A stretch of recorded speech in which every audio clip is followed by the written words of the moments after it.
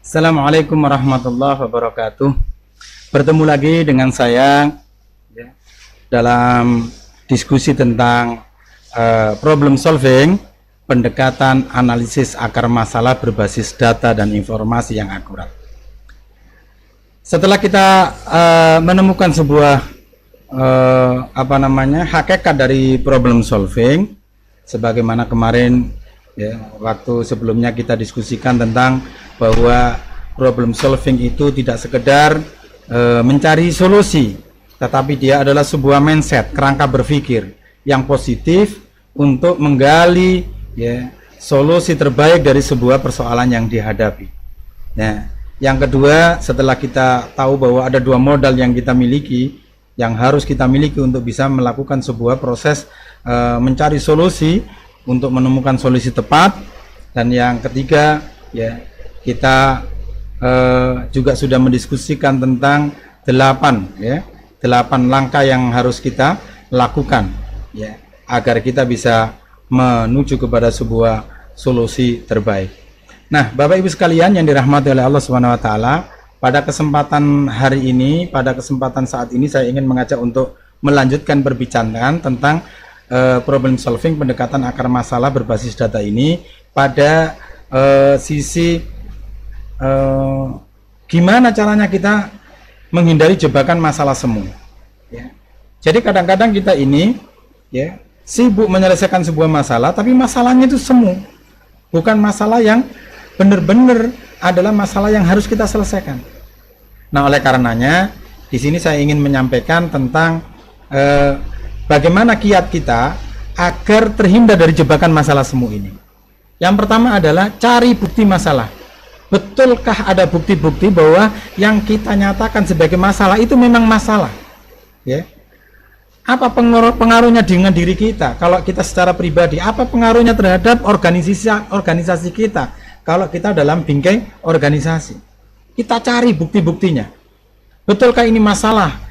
yang strategis betulkah masalah ini sesuatu yang akan berdampak luas terhadap uh, diri kita atau organisasi kita ya betulkah ini nanti yang akan menguras energi kalau dibiarkan? Betulkah ini nanti yang akan mengganggu kita men mencapai target-target kita dan seterusnya? Ya. Jadi kita cari bukti. Bukti masalah bahwa ini adalah masalah. Nah untuk mencari bahwa apakah betul ini adalah masalah kita cari data yang mengindikasikan bahwa ini adalah bukti bahwa itu adalah masalah. Kita cari informasi yang akurat yang menunjukkan bahwa ini adalah uh, bukti dari uh, yang kita nyatakan masalah itu benar-benar adalah masalah.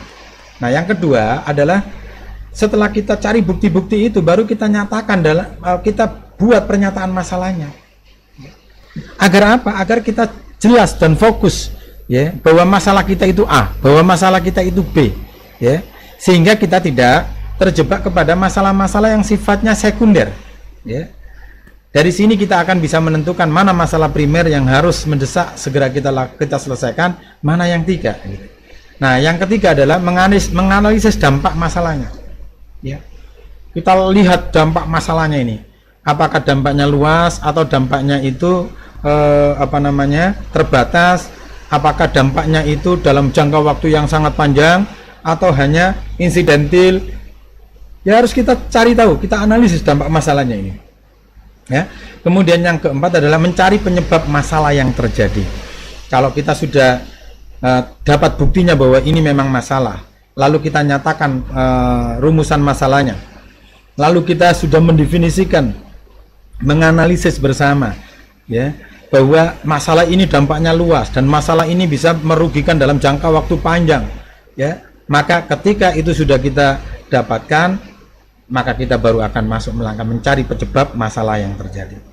Kalau masalah-masalah yang kita definisikan ini ternyata bukan masalah yang sangat eh, apa namanya berdampak dan bisa dalam eh, situasi yang kita hadapi ini ditoleransi, ya sudah kita fokus pada masalah yang lebih besar. Ya, tetapi ketika memang nggak ada masalah lain kecuali ini masalahnya ya harus diselesaikan karena kita harus menyelesaikan masalah yang kita hadapi apa pun, ya, yang bisa kita lakukan. Nah, Bapak Ibu yang dirahmati oleh Allah, berikutnya adalah eh, saya ingin menyampaikan tentang langkah-langkah menggunakan eh, RCA ini, root cause analysis. Ya, bagaimana kita uh, melangkah untuk mencari akar masalahnya. Ya, setelah tadi kita definisikan masalahnya dan memang ini masalah berdampak luas, maka tahap berikutnya adalah kita mendefinisikan akar masalah. Ya. Nah, yang pertama ya tadi itu masalahnya sudah terdefinisikan, ya. Nah, berikutnya adalah kumpulin data. Kita kumpulkan data-data, ya. Data-data yang e, memperjelas masalah ini. Ya. Lalu kita identifikasi penyebab-penyebab yang mungkin. Karena bisa jadi masalah ini terjadi, itu penyebabnya tidak satu Ya. Nah, kita cari penyebab-penyebab yang mungkin. Ya. Nah, setelah itu kita identifikasi akar masalah dari penyebab-penyebab tadi. Nah, misalnya ada tiga penyebab, maka di setiap penyebab itu kita kita gali lagi apa yang menyebabkan terjadi sebab yang pertama ini. Apa saja penyebabnya dari sebab yang pertama ini? Nah, di situlah kita akan dalami ya lebih jauh lagi tentang uh, penyebab dari penyebab. Ya penyebab dari penyebab. Nah, lalu kemudian kita setelah kita gali penyebab dari penyebab, lalu kita ajak, ajukan gagasan solusinya. Nah, biasanya RCA ini ya, jadi root cause root cause analysis ini, jadi eh, analisis berbasis akar masalah ini biasanya eh, tingkat kedalaman menggali akar masalah itu sampai level kelima minimal. Jadi kalau kita punya eh, menemukan penyebab satu, dua, tiga, ya, yang variabelnya berbeda setiap variabel ini kita dalami apa yang menyebabkan ketemu penyebab penyebabnya dari penyebab yang ini kita cari lagi apa penyebab yang kedua ini terjadi. Terus begitu. Ya, biasanya sampai level kelima. Nah yang terakhir adalah setelah kita ajukan gagasan-gagasan dari solusi baru kita pilih ya mana gagasan solusi yang paling efektif bisa menyelesaikan ya. Lalu kemudian kita implementasikan solusinya. Nah ini ada enam langkah yang bisa kita lakukan dalam rangka untuk menemukan akar masalah. Kemudian yang berikutnya, Bapak Ibu sekalian dari mati Allah, eh, saya ingin mengajak kita juga eh, harus memiliki tiga pendekatan, tiga cara pandang, supaya eh, solusi yang kita ajukan ini menjadi tepat sasaran. Jadi yang pertama, adalah pendekatan solusi itu harus berhubungan dengan akar penyebab masalah. Ya. Jadi jangan sampai eh, rumusan solusi kita ini lepas dari akar masalah yang kita definisikan itu. Kemudian yang kedua adalah pendekatan kedua, terapkan 5W untuk menemukan akar masalah. Why, why, why, why sampai 5 level minimal. Ya, supaya nanti kedalaman kita untuk menemukan akar masalah itu lebih dalam. Ya, kadang-kadang kita nggak sabar ya, cukup sering kali kita ngomong begini wis gak usah rumit-rumit sederhana saja. Ya kalau sederhana ya kita tidak kita tidak apa namanya menutup kemungkinan ketemu dengan solusi yang tidak memberikan solusi solusi mendasar gitu. Nah jadi agar kita bisa menemukan solusi yang paling mendasar dari persoalan yang mendasar ya kita harus serius ya. Kita harus serius. Tidak harus kita menyederhanakan sesuatu yang memang tidak bisa sederhana dan tidak perlu kita memperumit sesuatu yang memang bisa sederhana ya. Nah tadi itu kaidahnya ya. Cari tingkat kerumitan solusi yang paling uh, sederhana tetapi dia memiliki dampak pengaruh yang luas untuk menyelesaikan masalah. Nah itu pendekatan itu. Nah yang ketiga adalah pendekatan gunakan cause effect diagram ya. Cause effect diagram ini ya diagram uh, sebab akibat ini ya itu sangat membantu kita untuk melakukan sebuah uh, apa namanya pendefinisian. Ya baik masalahnya akar masalahnya sampai kepada solusinya nanti. Nah Bapak Ibu yang dirahmati oleh Allah ya cause effect diagram ini biasanya disebut juga sebagai uh, diagram Weisbund analysis ya. Jadi diagram uh, gambar analisis uh, tulang ikan atau sering kita sebut sebagai analisis uh, uh, diagram Ishikawa karena yang menemukan adalah orang Jepang ya. Ya. Nah, uh, Weisband analysis ini biasanya ya kita gunakan untuk apa? Membantu menampilkan secara visual ya sumber-sumber penyebab masalah sehingga kita mudah melihatnya ya dalam peta diagram itu. Nah, setelah kita mengidentifikasikan sumber-sumber uh, apa namanya akar masalah, maka kita bisa mulai mencari solusi yang tepat bagi akar masalah yang memang itu me, memiliki dampak paling luas terhadap masalah yang kita hadapi. Ya. Nah, contohnya begini, ya. Jadi eh, kita biasanya me membagi ya, penyebab timbulnya masalah itu dari beberapa faktor atau variabel. Yang pertama misalnya faktor manusianya. Ada sebuah masalah ini karena persoalan manusia, ya. Maka nanti kita cari penyebab-penyebab dari persoalan manusia ini.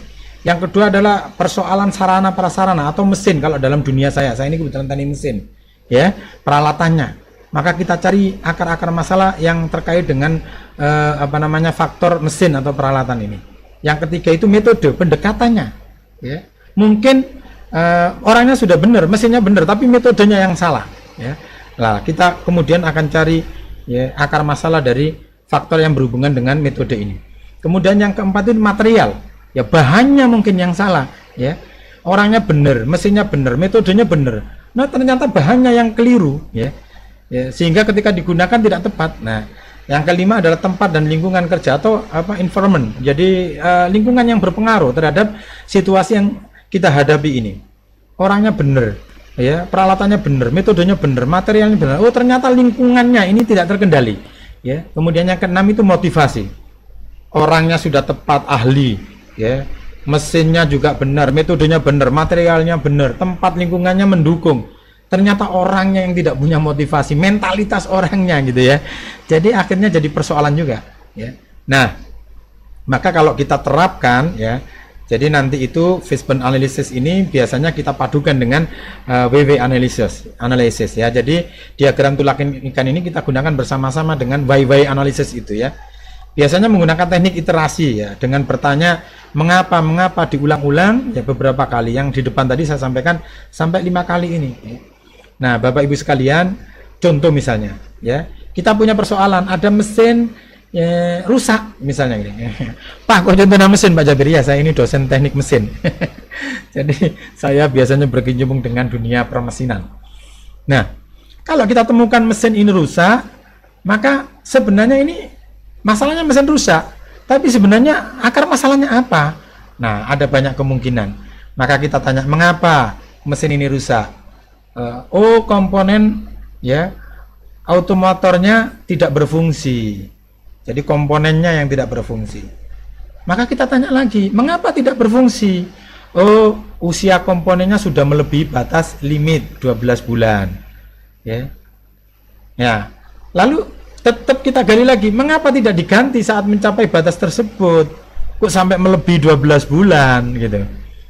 Nah ini persoalannya kan jadi bukan masalah komponennya saja yang tidak berfungsi ya, tapi ada proses uh, penggantian yang melebihi batas waktu ya yang semestinya tidak boleh ya maka jawabnya oh tidak ada yang tahu batas limitnya komponen tersebut sudah lewat gitu Nah, kita tanyakan lagi, mengapa tidak ada yang tahu? Mestinya dia sudah lewat batas waktunya harus diganti. Ya. Oh, tidak ada pencatatan data, penggantian komponen. Ya kita tanya lagi yang kelima, mengapa tidak ada pencatatan? Nah, kalau sudah di level ini, sebenarnya kita telah tiba pada salah satu potensi akar masalah, yaitu tidak adanya pencatatan data penggantian komponen. Ya, maka solusinya apa? ya kita kita bikin solusi harus ada ya penjadwalan yang kemudian disupervisi ya sehingga tidak ada yang kelewat ya, melebihi batas usia perawatan kan gitu. Nah ini contohnya ya. Kalau kita terapkan nanti Weisborn analysis itu diagram tulang ikan ya seperti ini. Penyebab-penyebab utamanya apa saja? Penyebab utama dari faktor manusianya dari faktor apa namanya e, metodenya dari faktor lingkungannya dari faktor nih.